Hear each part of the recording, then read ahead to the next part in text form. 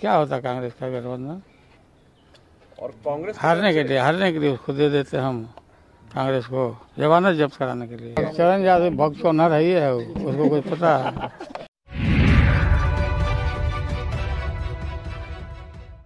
नमस्कार इन खबर में आपका स्वागत है। आरजेडी चीफ लालू प्रसाद यादव साढ़े तीन साल बाद पटना पहुँचे हैं लेकिन दो हंगामा लेकर के पहुँचे हैं।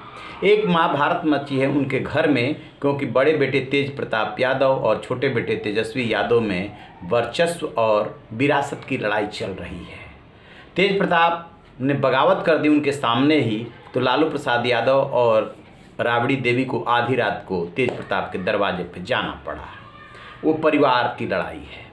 दूसरा हंगामा मचा है, कांग्रेस से आरजेडी का गठबंधन है, लेकिन जो उपचुनाव हो रहा है, दो विधानसभा सीटों पे, कुशेश्वर स्थान और तारापुर, वहाँ पे आरजेडी ने अपने दोनों कैंडिडेट उतार दिए, जबकि कांग्रेस को एक सीट नहीं दी। कांग्रेस का तर्क था कि पिछले चुनाव में वो दूसरे नंबर पर आई थी, लिहाजा उसे एक सीट मिलनी चाहिए।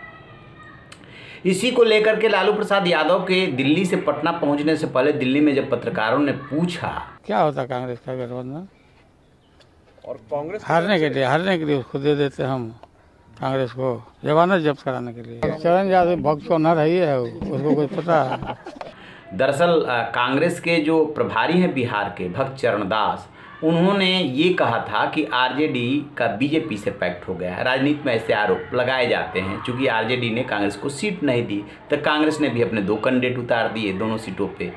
उस पर लालू यादव से जब प्रतिक्रिया पूछी गई तो उन्होंने उनको भगचोनहर कह दिया। अब भगचोनहर का क्या मतलब है? आपको पता ही है कि जब राजनीति में अब शब्दों का इस्तेमाल होता है तो उस शब्द के मायने ढूंढे जाते हैं।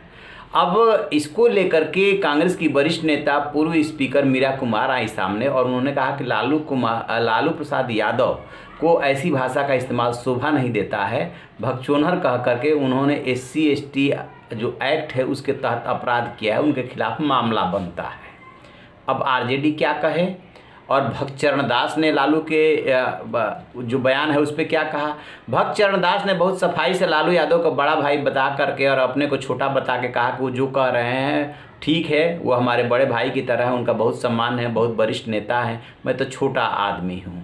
लेकिन मीरा कुमार नहीं मानी, मीरा कुमार ने उनको घेर लिया। फिर आरजेडी के प्रवक्ता हैं मृत्युंजय नारायण तिवारी, वो सामने आए और उन्होंने कहा कि भगचोनहर मतलब मूर्ख, किसी को गाली देना नहीं होता है। और फिर उन्होंने थोड़ा उस पर पॉलिश लगाया कि कांग्रेस से सोनिया गांधी, राहुल गांधी, इधर जो है लालू यादव और तेजस्वी यादव डेमोक्रेसी के लिए लड़ रहे हैं। और ये जो है भक्त चरणदास जो है बीजेपी, आरएसएस के भक्ति में लीन हैं। यानी कि उसको अब उन्होंने राजनीतिक बनाने की कोशिश की। क्योंकि कौन बीजेपी और संघ से मिला हुआ, कौन नहीं मिला हुआ, राजनीति में ये एलिगेशन बहुत सामान्य सी बात है। लेकिन भगचोनहर कहना सामान्य सी बात नहीं है। ठीक है कि बिहार और पूर्वी उत्तर प्रदेश में ये वर्ड चलता है, लेकिन मीरा कुमार यदि कह रही हैं तो कुछ सोच समझ के ही कह रही हैं।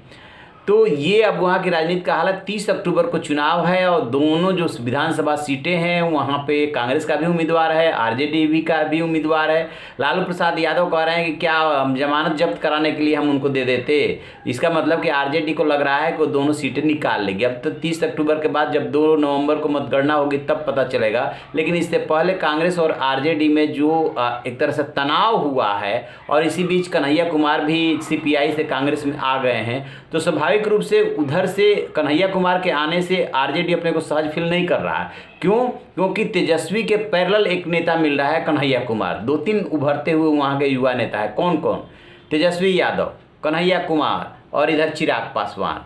तो स्वाभाविक सी बात है, कहीं ना कहीं अंदर प्रतिद्वंदिता रहती है। चिराग के तो ये लोग साटने की कोशिश कर रहे हैं। वजह ये है कि पशुपत पारस उधर चले गए हैं नीतीश कुमार के साथ। तो दलित वोटों के लिए अपने साथ मिलाने की कोशिश हो रही है महागठबंधन में। लेकिन कन्हैया कुमार जब उधर चले गए हैं तो स्वाभाविक बात है कि जब पिछले चुनाव में सहयोग नहीं किया तो इसी में क्यों सहयोग करेंगे? तो कन्हैया कुमार वाला भी एंगल है, लेकिन फ़िलहाल भगचोनहर को लेकर के वहाँ पर हंगामा मचा हुआ है। तो आप रहिए ना बेखबर, देखते रहिए इन खबर। Thank you